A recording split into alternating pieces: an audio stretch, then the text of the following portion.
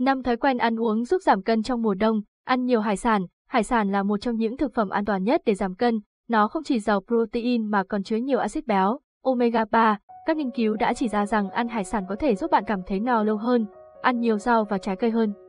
Có rất nhiều lợi ích khi ăn nhiều rau và trái cây, đối với việc giảm cân, những thực phẩm này chứa ít calo và rất giàu chất xơ, do đó, nó giúp làm giảm lượng calo tiêu thụ và hỗ trợ giảm cân hiệu quả. Sử dụng protein gốc thực vật Protein từ sản phẩm động vật sẽ lẫn nhiều chất béo bão hòa.